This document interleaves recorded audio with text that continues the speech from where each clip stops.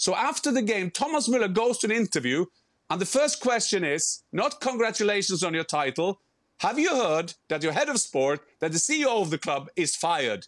Thomas Müller said, Wait, they waited one minute? That was his response after the game. So, so on, on, on Sunday, they had a big, big com- press conference. Just before the press conference, Oliver Kahn made a tweet saying, I was sensible, there was nothing into this, and so on and so on. This is Bayern. What is Bayern done? They're giving a new two-year contract to Dreesen, who is one of the boys. They have taken Karl-Heinz Rummenigge back, which is, is one of the boys. La Famiglia is finally together again, and we look forward to a new season. And if I can end on this episode of this soap opera called FC Hollywood, I would say so much. They thought that maybe he was so frustrated, Thomas Tuchel, that even he will leave his post. I don't think so. I think this means that Thomas Tuchel will be more powerful than ever in the hierarchy of Bayern Munich.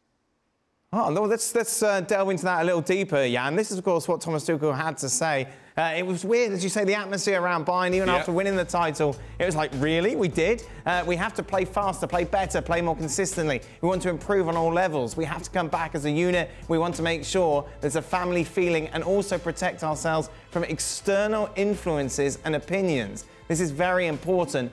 Only then can we demand everything from the players why do you think these moves have made him stronger, Jan? Because uh, I think that Thomas Tuchel, I mean, since a Norwegian said the 20th of April that Oliver Kahn will be fired, remember that, Dan? I said that. Uh, uh, yes, yes. You also said yeah, Liverpool were no, going to finish top four yeah, we, uh, I, I, think we all did, didn't we? Uh, but no, uh, I don't we, think we did. Uh, oh, oh, oh, I remember what we all said before the season. Uh, sorry, Ah, yes, uh, to, yes, but yes, around that yeah. same time you were tweeting about Kahn, you were tweeting about Liverpool. But we got off. We got off. no, no, no. I will go on. So, Mr. Kahn and Bayern very suspicious. Now that will never happen. That will won't do that, and that will do that.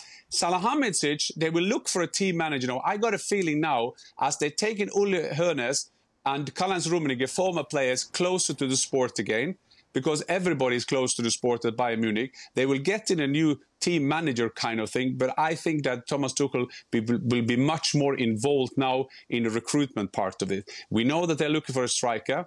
Julian hmm. Nagelsmann mm. said at the beginning of the season, now that, that's not so important. I, will be flexible. We'll, we'll find a way. And then they found Choupo-Moting, who did okay. Uh, but And then they need a number six. They're looking for that. And it seems that now that Thomas Tuchel's opinion is more heard of. Just, I give you an example. Vlahovic from Juventus, he was never mm. a candidate. They said, no, he's not a candidate. It's too expensive.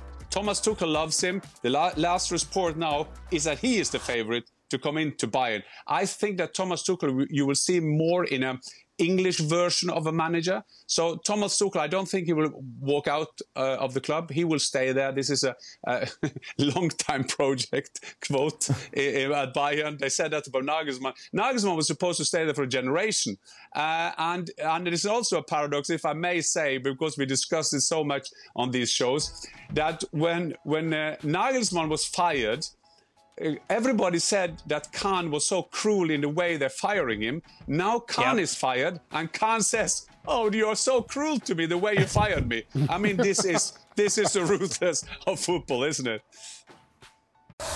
Thanks so much for watching ESPN on YouTube. And for more sports highlights and analysis, be sure to download the ESPN app. And for premium content and live streaming, subscribe to ESPN Plus.